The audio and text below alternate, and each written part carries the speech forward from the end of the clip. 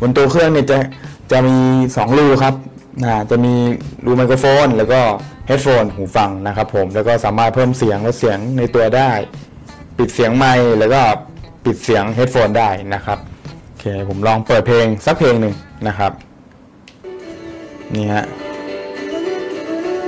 เราดูหน้าจอไปด้วยนะครับอ่าหน้าจอสมมุติว่าผมเพิ่มเสียงนะครับผมอ่าลดเสียงดีกว่าอ่าลองลดเสียงดู ลองเปิดเสียงดังก่อน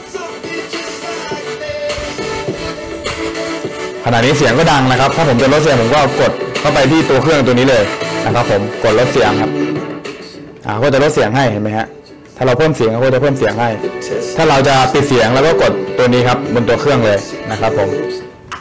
อ่าก็จะเป็นการปิดเสียงให้นะครับอ่าถ้าเราสมมุติเราจะปิดไมโครโฟนนะครับเราก็กดตรงไมโครโฟนตัวนี้ครับ จะเห็นอ่าสัญญาณสีแดง